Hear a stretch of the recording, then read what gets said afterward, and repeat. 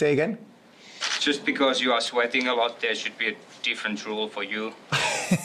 I never said that. You know, I am following the rules, and I, if I am having less more than 25 seconds, I receive a warning every single time. But if not, check the check the clock. I don't know if you want to create a. But I mean, thank you so much for but I don't think I, I don't, I don't think I am receiving a, a different treatment at all. I, I don't, I don't understand why John can can say that on the on the um, on the TV. But I'm gonna take, I'm gonna have a chat with him later.